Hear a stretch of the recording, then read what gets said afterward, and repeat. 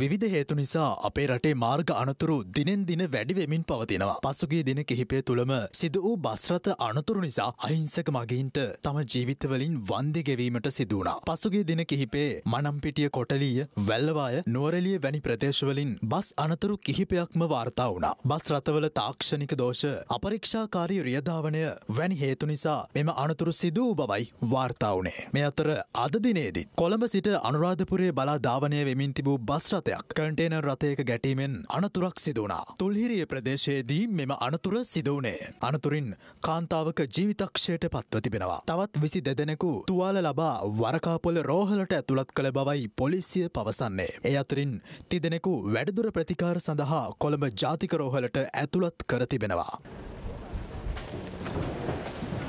අදාළ කන්ටේනර් රථය ඉදිරියෙන් ධාවනය වෙමින් තිබූ රථයක් ඉස්සර කිරීමට යාමේදී. ප්‍රතිවෘද්ධ දෙසින් පැමිණි බස්රථයක ගැටීමෙනුයි අනතුර සිදුව ඇතේ.